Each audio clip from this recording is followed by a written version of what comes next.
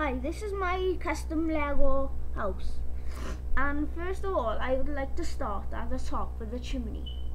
There's a little chimney there, like like that, but with those little pots thingies. I didn't have the like quite right pieces, that's why it's not like a chimney probably. And then secondly, I've got like a little balcony if on sunny days people would like to come out and smoke or cigarette.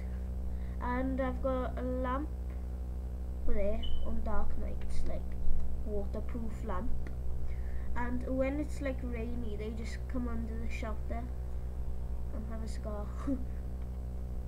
and then I've got this attic window, like some houses do, like have a window sticking out of their roof. And then I've got my front door, two like windows, and I made this like block thing with a smooth thing on.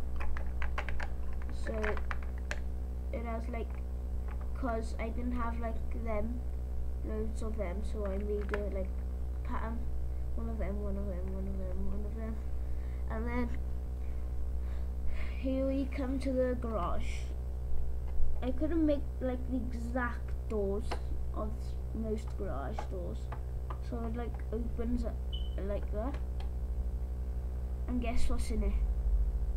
A go-kart. I made a video on how to make this.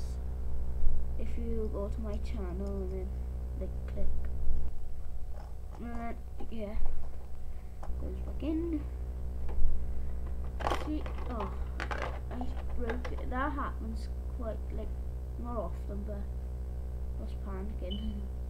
yeah, and it closes like that. But if you close it like that, it won't close. So you have to, like, close it at the same time. Like this. Yeah.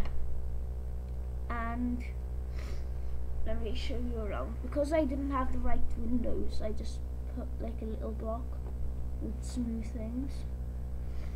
I just put that like a mini feature, a pipe or something. And I've got them windows all around.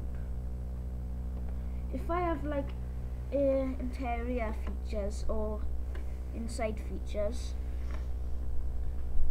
I was planning to put them like thin smooth pieces right around so you could take a roof off. I might do that. Like take that thin piece off and then put them so you could take a roof off and off. Yeah, and basically that's it.